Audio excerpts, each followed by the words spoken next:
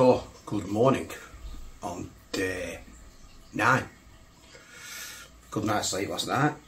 It's half seven. Um, been a bit of a balls up because I couldn't be bothered taking all my stuff off the bike. I haven't gone checked on it yet. I'm hoping it's all going to be alright. And I'm wearing the same t-shirt. Um,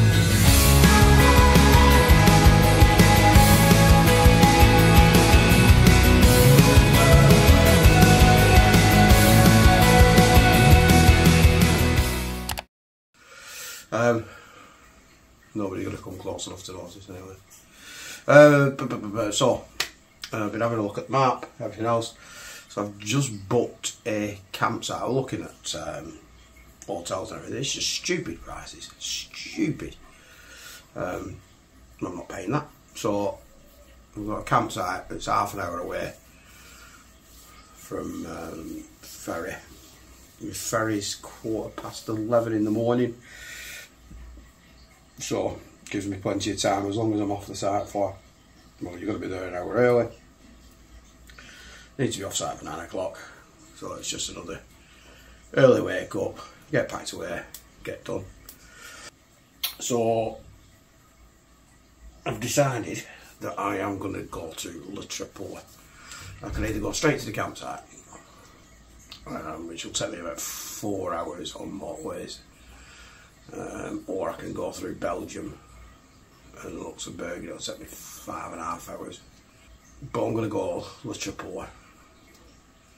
Um, it's half seven now. Should get on the road for about half eight, hopefully. Um, it's four four hours something. So it's going to take me five hours to get to Le Treport. So if I set, let's say if I set off at nine, right, I'll get there about two o'clock ish. Um, spend an hour there, two o'clock, three o'clock, and then it's a couple of hours. So I should get to the campsite around five o'clock, which is about right. Get pitched up, um, make some food, um, maybe have a beer. Because I said last night for having a beer in it. Um, when I say a beer, I have a beer. Um, and then that'll be it. But there should be a, a decent run up that bit of a course from Le Treport to, to Calais. So that that's the plan. That's it. Um, I'll see you on the road. Well, it's uh, 20 to 10 and I have 327 kilometres to go. And I kept telling myself, right, I'll take a break at every 100 mark. So I've done 400, I think it was 450, I can't remember. So I've done 100k. Um, it's motorway, innit? What can you say? Stick some tunes on and just get it done with. Thought I'd mention a weird phenomenon that I get, and I, I'd be interested to know if anybody else has this as well. Whenever my visor's down, and I'm really bad for not riding with my visor down, I mean, I'm doing 130 kilometres an hour, whatever that is. Um, and I'll ride with helmet, uh, with my visor up, like that. And that screen doesn't do too bad, gives me a bit of protection, and I get minimal bugs. And it's a really bad habit, because I've got no protection for my face. I'll close it and then you can hear me a bit better. So, but when I close it, right, and I've always had this, I don't know if it's the V twins or not, I get an itchy nose. It proper tickles my nose. I don't know why, right? I get a proper itchy nose. What's all about? Does anybody else experience the same? Is it just me? Worth noting as well the cheap throttle lock, other than that pad, keeps slipping, that little white bit there. Right? And get it in just the right place. It just needs gluing in properly. It holds pretty well, as you can see. It's not doing too bad there. And it just gives you that, especially on these long motorway runs or whatever, it just gives you that extra oh yeah, you're not constantly got your hand in that position or whatever. So you can just rest your hand on it. Do you know what I mean? With minimal sort of impact. So yeah, goodbye. Worth the money. All 20 quid of it or whatever. Right.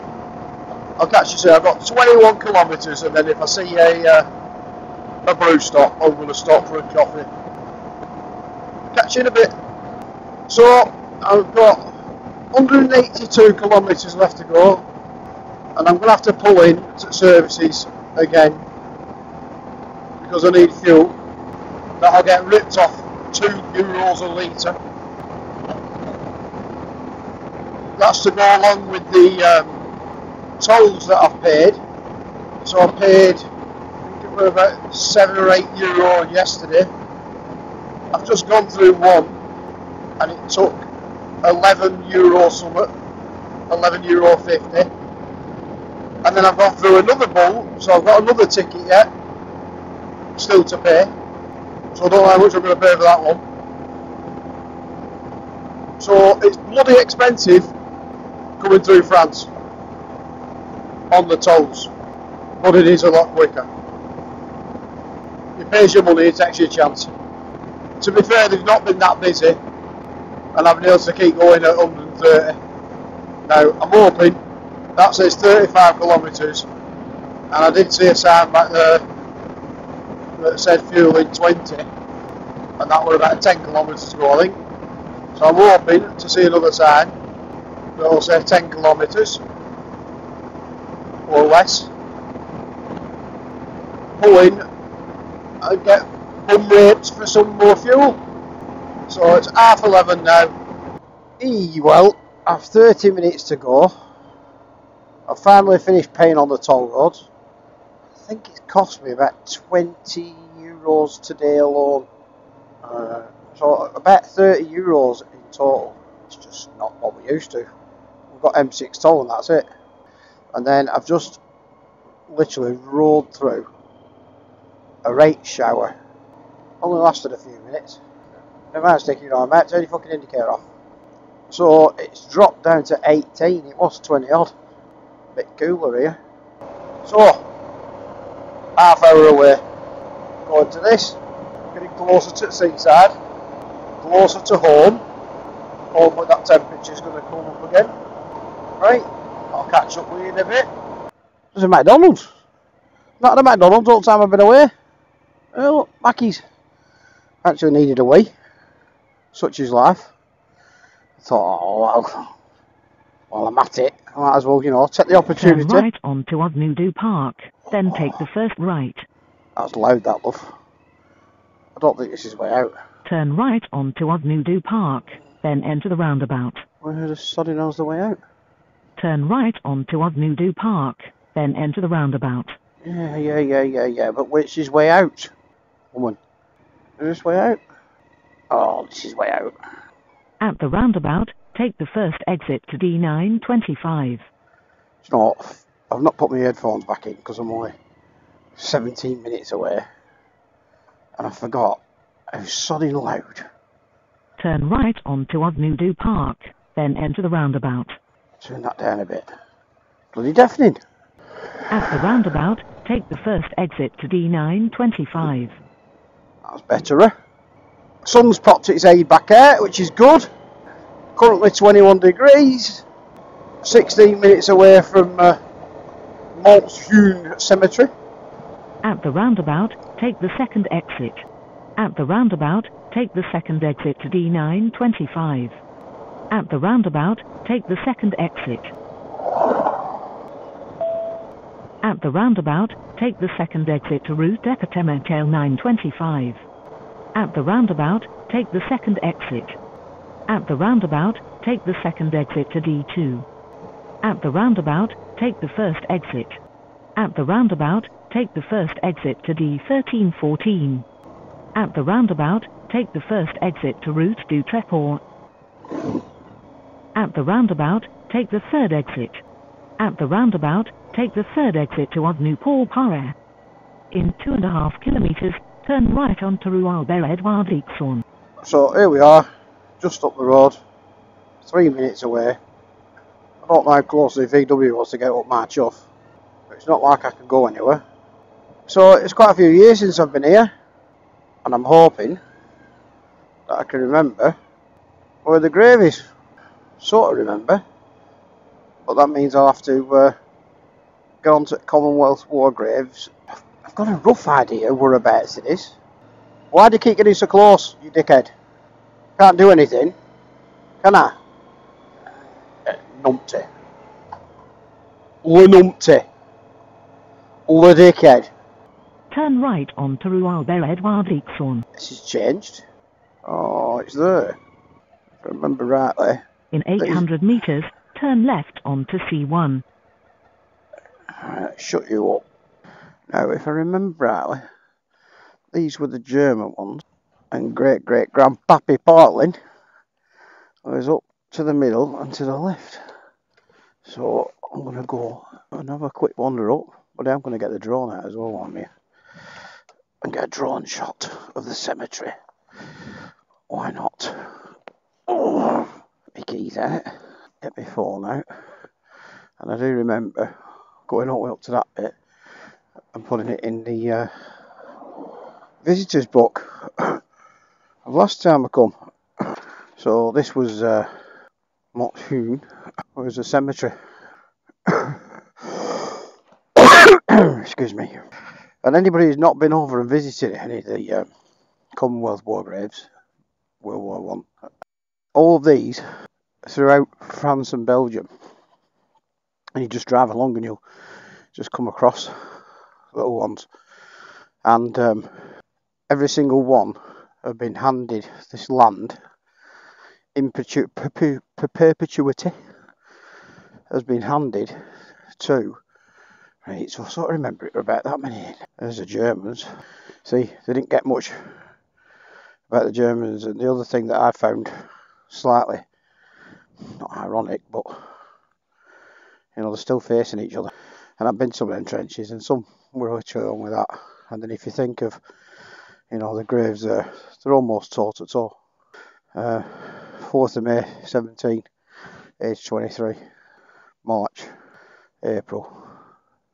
They could even been shooting at each other. And then for time stand stills for them still facing each other. It was about that far in on this left hand side. August 18 there it is 15967 Sergeant James Edward Partwin of the Border Regiment. Died on the 21st of August 1918 gone but not forgotten. I have suffered. This is my the grave of my great great great no great great granddad um, James Edward Partwin in 1914 at the start of the war he joined up it was before the formation of the Pals Regiment. So Accrington and Pals hadn't even been thought of before then. Um, so he joined the Border Regiment, which are based in Carlisle. And I've been up to the museum and I've got a full printout and I've got all his full mi mi military records. The one thing we couldn't find out is when he got promoted to sergeant. Now I do know he was 38 when he died and he joined in 14 and he died in 18. so he died in August of 18 and in 14 he joined up did the basic training and they, they shipped him off to the balkans. Some of you who know anything about world war one history will have heard of this place the first place he was stationed. So he was at gallipoli. So the border regiment were at gallipoli. Obviously when they retreated out of gallipoli he then went to egypt. So he was in egypt for a while before they sent him over to here. So then they came to the fields of Flanders. Whereas he, he was involved in Passchendaele, the first Battle of the Somme. At some point during that, um, he was gassed, uh, hospitalised, and then um, he went back to his regiment. And it was the third Battle of the Somme, just prior to that. So I think he was wounded for a couple of weeks before he died. So the beginning of August. So around this sort of time, um, he'll have been in hospital in 1918. Um, and I think they used to bring him down the canal system Um, and like I say, I don't know where the hospital were, but there was a hospital around here, and this cemetery um, are all those from who died at the hospital. Now, luckily for us, for me, uh, there was a nurse at the time called Edith Appleton, and Edith Appleton had a diaries, and they were published after the war. So James is mentioned in those diaries. She was his nurse, and um, we've a first-hand account that the family story that my mum told me because it was her grandma that was brought up by my grandparents. Had a long story, right? So, um, it, she was told, right? She had four children, and the youngest was my great grandma, and so great great grandma May Partling travelled all the way from Accrington. We don't know how because they were quite poor. So whether it was the church or, or whatever, paid for it, and she travelled all the way from Accrington. 1918, the war was still on. Travelled all the way here, and he hung on. Now the family story is that he kept asking for May. I want May. I want May. I want May. Um, and he had a, a, a, a shrapnel injury to his back, and um, he, he, kept asking for me. Obviously, it, it, it, was deteriorating. By the time she'd reached here, he could only me- mumble, mm, he couldn't even get the word May out. But he hung on until she got here and he died in her arms. So, yeah. And like I say, uh, I've got a piece of history evidence that supports that because Edith Appleton mentions um, James and May um, and says how what such a pitiful thing she was and um, how in a way she was glad he went he weren't hanging on and these words at the bottom all the families got to choose so the commonwealth war graves asked all the families of all these people what words they want on the bottom so she chose gone but not forgotten I have suffered because he did. Uh, you know, in his last couple of weeks on this earth, he suffered. But not only that, he did four years, four years in in, in all that mayhem and madness. Um, and at some point, were promoted promoted to sergeant.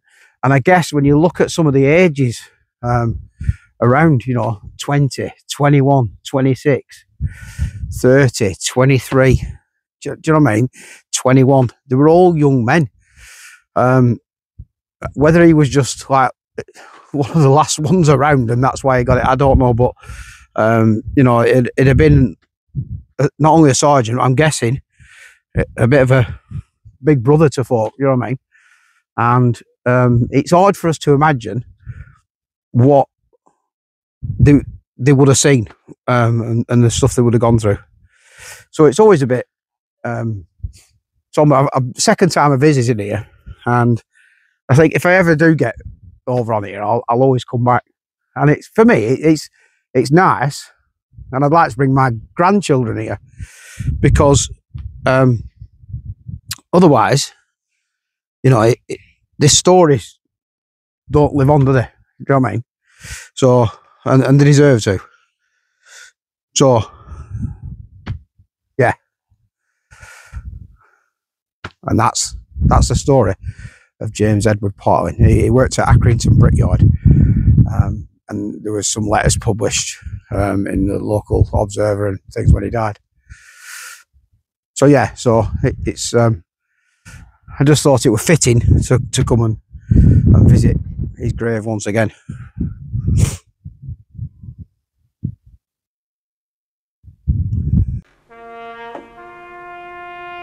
In Flanders fields, the poppies blow between the crosses, row on row, that mark our place.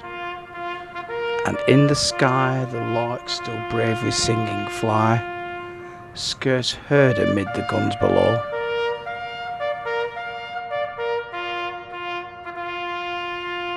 We are the dead. Short days ago, we lived We felt dawn, saw sunset glow, loved and were loved. And now we lie in Flanders fields.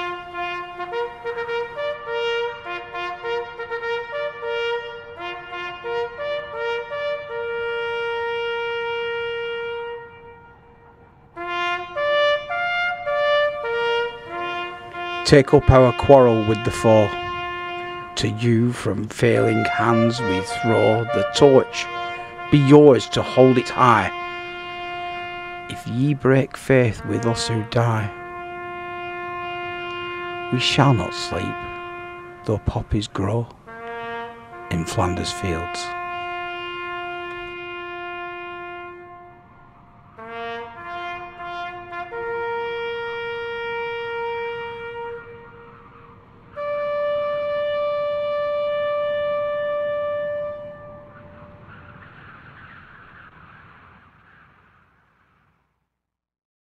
Until the next time.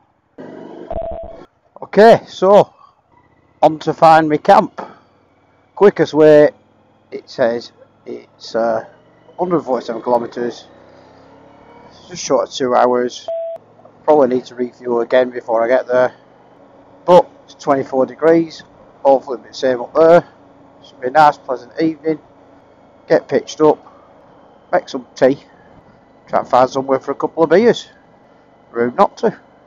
I bet James Edward had a few beers. He'll have been supping summer. There's no way for four years. He didn't have a few few scoops. Good lad. So here's to you, Jimmy Edwards. Jimmy Edward Brightling. 105 years since he died. There's a little bit of He's quite proud that, you know, one of his relatives is still coming to visit his grave 105 years after his death. There we go. Bit of the sea for you. Looks like somebody's having a car boot all their own. Missus has been she'd have been stopping at that. Pull over, pull over. Let's have a rummage. Loves a good rummage, does our lass. Oh, aye. So this is Trapola. I'll have to see if I can talk one of the grandkids in to uh, coming over. I try and get our Thomas on back. He's having none of it. This time, yeah, I might talk him into likes sitting on it. I don't like it when I started up though. But he likes sitting on it and pretending to ride it. So start. At the roundabout, take the first exit. Alright, Gladys. At the roundabout, take the first exit to Route A. Now I did think, oh, I'll nip to a Netto or a Lidl or something. Get a couple of supplies for tonight. No, they don't open on a Sunday eh? here. Don't know why, but they don't. I've long argued that we shouldn't open on a Sunday. It should go back to like it were when I reckon. Now we're open on a Sunday. It's like any other day at week now. Give it back to the families, that's what I say. Give Sunday back to the families. All them lot who have to go to work on a Sunday for everybody else to go and do something on a Sunday. No, shut it all. Shut the lot. That's why you used to have half day closing during the week. In Accrington, it used to be on a Wednesday. Wednesday were half day closing. That's because bugger all were open on a Sunday. So any of them who worked in shops and that lot obviously worked Saturday. So when could they do their, their stuff? Half day closing. At the roundabout, take the second exit to D1314. Don't get half day closing anymore. At the roundabout, take the third exit to D925. I wonder how long. I didn't even look. If I dodge, um, like I say, I have found it where you can say avoid tolls, but you can't avoid motorways. So At the roundabout, take the third exit. uh, settings, navigation, avoidances, motorways, save, go back, go back, where to, history, that's where I'm going, choose go, start new route, calculated, At the roundabout, take the third exit to D925. oh, it's not much extra, only 15 minutes extra, let's follow this. Yeah, just pull out on me, why don't you? Fucking idiots. There's a different rule in France, I didn't know about. In 800 meters, Fuck take the slip road on the right to D940 toward Berck. Probably is some stupid fucking rule. You travel all the way around Europe, everybody's alright. Closer you get back to bloody England, people start turning into dicks. Take the slip road on the right to D940 toward Berck. Oh, easy there, chick. And that will rate up my ass as well. And that VW that will rate up my chuff when I was going up that hill towards cemetery, he nearly went in back of me. Swear to God. Oh good. Right, I reset that speedo when I landed at Calais and it's 3,500 kilometres that I've done. And this one is uh, 120 kilometres away. And then if I add on from Accrington to Dover there and back. We're going four and a half thousand kilometres than I thought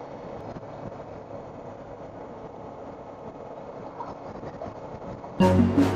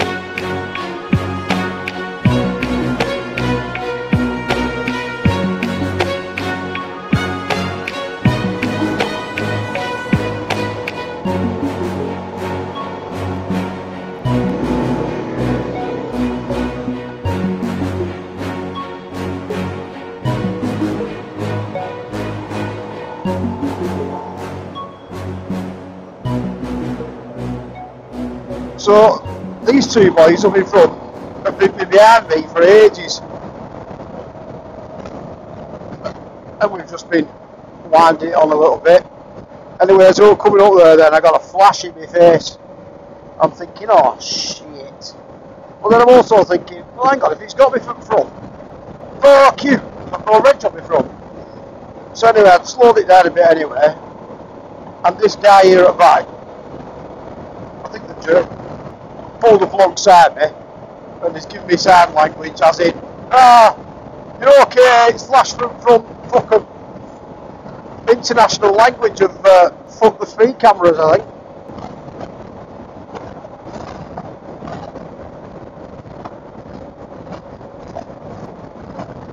You should pull up alongside him and have a dance. Do little dance now.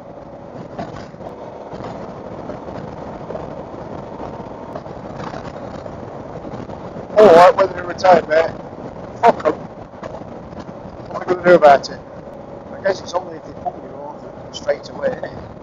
I bet he's listening to so much shite. 80s German electro pop.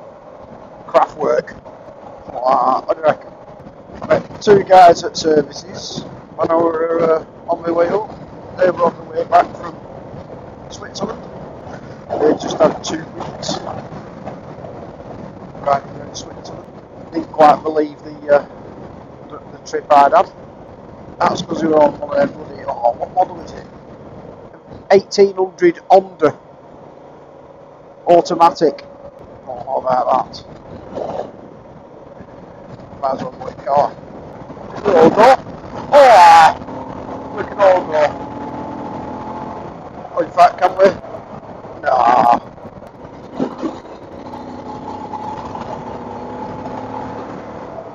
Well, no. The red lights stop the pot. Pick a side, Franz. So listening to Franz Ferdinand. Oh, no, I'll see what I did there. Chiefs. Yeah? Yeah? Oh, Bauhaus. Nena. 99 Red Balloons. 99 Red. Ultravox, Vienna. Oh no, that's Austria. Same thing. Like, Hitler were Austrian. Lebanon. Ugh, chuffing hands. Right, 45 minutes. That's also the time I get In booked in. 900 metres, turn right onto D215. Gladys, you're a pain. Uh, so that means by the time I get booked in, half five. Booked in, 10 to half six. I need to try and find a shop for some beer. Mind you, I've no room to carry any. I've got some grub. Plenty of grub. Oh, Turn right at the traffic light. not mind you. In seven and a half kilometres, turn right onto Chaussee Oh, kebab shop's open. So always a kebab. Turn left onto Place du Maréchal Force, then take the first right. Alright then. No, I don't think you meant down here, did you, Cop? Did you? Nah, you didn't. Did you? When possible, make a U-turn, then take the first right.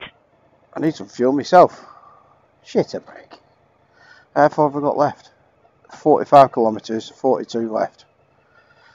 Whew. That's not good, is it? That's not good at all. Turn right onto Rue de Davry. Where's it go down here? Can't turn left here. Give me, woman. Turn left onto Rue de la Basse-Cou, then take the first right. Right. Left on here. Turn right onto Rue de Longuerec, then take the first left. It's going. Turn left onto Rue Park, then take the first left. Turn left onto Rue Park. At the end of the street, turn right. I don't think I can get out of here. Oh, maybe. Maybe, maybe. Alright, Gladys. I'll let you off this time. Turn right onto Rue de Davry. In 7 kilometres, turn right onto Chaussee Bruneau. Right, hang on. To take that off. Get that up. Up ahead. Ah, fuel. What a good do. How do we get some fuel? From here. Do do do do do do. Butt gas. Oh dear me. Right. SP uh, E10. Good, good. Should hope so.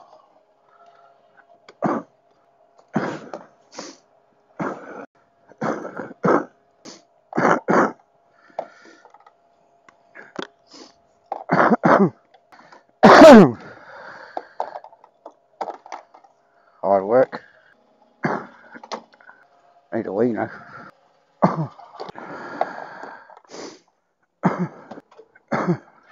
In 6 kilometres, turn right onto Bruneau. Shit over here. Oh, 80 limit. And it's expensive. Cost me a fortune to get through France today. I just pulled over for a roadside piss. I tell you what, you get back on, you feel so much better for it. I've got 20 minutes to go, and I'm thinking, oh, come on. It's getting dragging on a bit this now. I have my wee. I'm happy as Larry. Ride for another hour. Although I do need to find the shop. And I were a bit gutty because there's whizzed past one then anyway. I'm not turning back for it. If that one's on, there must be another. You're not telling me you can't get a bottle of wine on a Sunday in France. I'm having none of that. Lovely day for it though. Cafe, Tabac and. Boulangerie. Shut. Oh, look, there's one. Pizza vending machine. That's the third one I drove past. I drove one last week. I told my missus, I was like, I've just drove past a vending machine for pizzas. And then I just drove past one back down there, and there's another one. Vending machine for pizzas. If I weren't in such a rush to get set up, it's only 17 minutes away. It's got to be worth a try, hasn't it? Just for the sake of doing it. Vending machine for pizza. 24 hour pizza. And a vending machine. I it's about 5 euro. Robots work Sunday. Yeah. In 400 meters, turn left onto Rodu Kandu Drador. Turn left onto Rodu Kandu Drador. Okay, brilliant. Thank you very much. I shall see you at 6.30. oh, that's a good do, isn't it? Got a bar and bar opens at R6. Woo! Just in time for me to get the tent up. Flag first.